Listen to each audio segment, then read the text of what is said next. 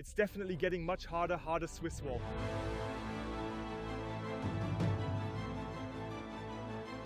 Today, I'm taking you on one of the world's most notorious and challenging ski runs, and as you can clearly see, it's getting real here.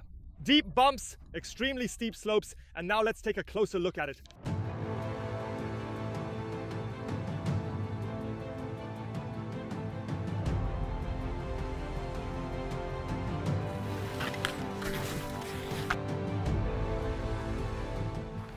And here you are, first greeted warmly, welcome to the Swiss wall, 90% slope are indicated here over 330 meters of altitude that you descend and if you already look into it then you get nervous from the lift already.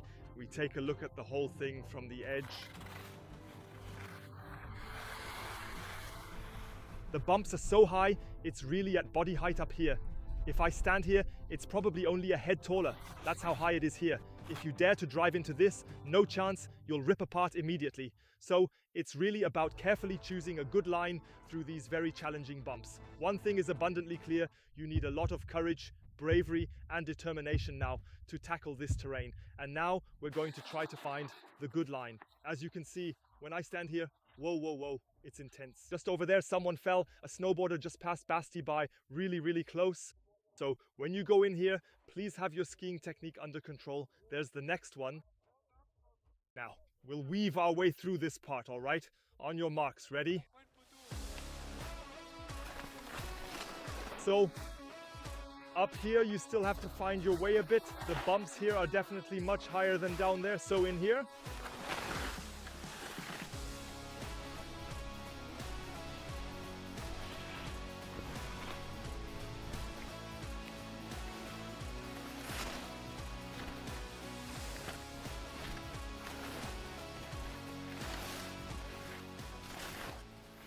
Once you have a line, like straight, that's already pretty good. But the bumps are so deep that the pure mogul technique, like pulling in your legs, sometimes isn't enough anymore. You can no longer keep your upper body stable. You have to somehow muddle through. Some do it that way here too. There are still a few brown spots in there. Caution is definitely advised. It's certainly a lot of fun. And here, avoid the rocks. Now I'll take a left turn from here.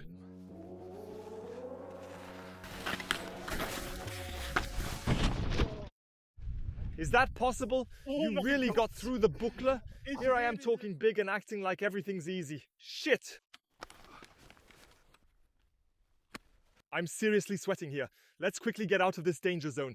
A sharp edge like that has become my downfall, you know? That's where the shovel went through and then... Oh, this one's really tough here.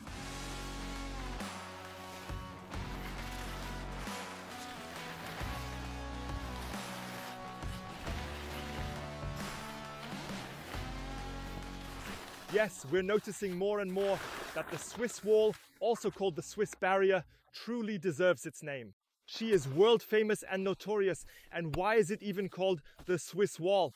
Well, because here in the Portes du Soleil ski resort, we can ski right across the border down into Switzerland. Down there is Switzerland, and across the border lies France, waiting to be explored. The descent here goes by three names Swiss wall, Swiss border wall, or Chavanette. I can't pronounce French well, Anyway, one thing is for sure, you can't bypass them. If that's the case, you should take the chairlift down. Some people do that here, and you should do it too if you're not yet good at skiing moguls and just need to gain more experience. This is quite a big challenge right here, and this is where the hump moderators come from. Now, let's head to the yard.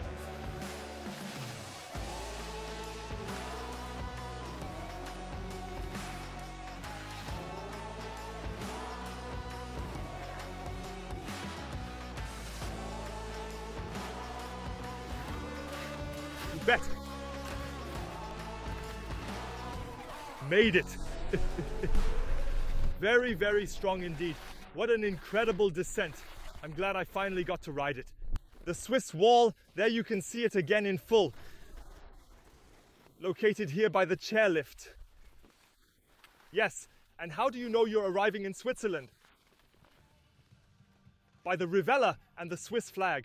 Thank you for taking the time to watch this video about the Swiss wall. I'd be really happy if you watch more of my videos and of course, feel free to provide tips for other runs that we definitely need to film.